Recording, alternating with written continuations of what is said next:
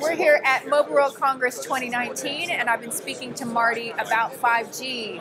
Customers are coming about asking how they can prepare and beef up their LTE networks. What are you hearing, Marty? So one of the things we're seeing is the solution you need to upgrade to 5G is very dependent on what region of the world you're in, what auctions are coming. Different people are adding different frequencies. Uh, if you talk about a T-Mobile, 5G is 600 megahertz. If you talk to an AT&T, it's 28 gigahertz. And so how you approach it really depends on what you're going to do in your own jurisdiction.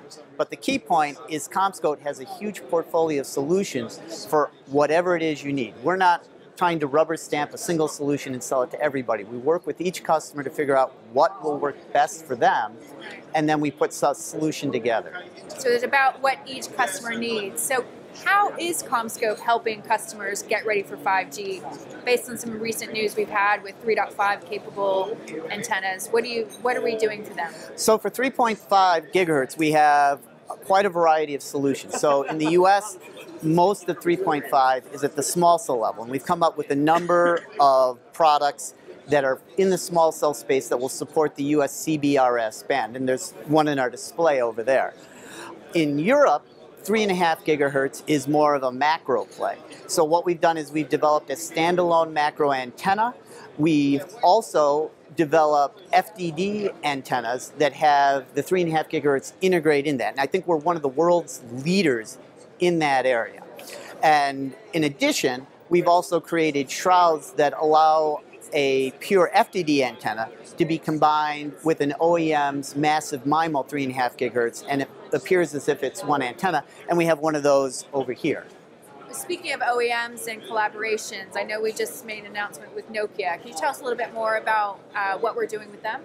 So we're doing a couple things with them. Uh, besides working on the shroud uh, concept that you see behind me, uh, we've collaborated with them on some FDD massive MIMO products, which are being sold commercially in the United States. So it's really exciting to us to see, be involved with massive MIMO at not say a science fair type level, but actual commercial products.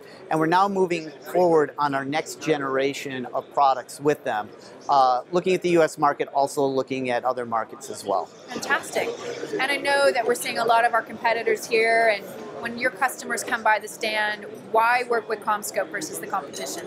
So I think a critical factor is we have the entire path. I used to say the entire RF path, but you know, in 5G you have a virtual network, and so where, say, the RF stops and the fiber starts could be different places. But the point is, we've got the RF products, we've got the fiber, we've got the power, we've got concealment, and zoning is very important these days, so that all helps. And we've got a lot of this on display. So basically, we can supply everything uh, except normally in the macro, the, the radio.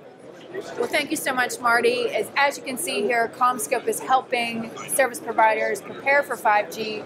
We've got the fiber, we've got the wireless, we've got the connectivity. And thank you so much for your time, Marty. Sure, Justin.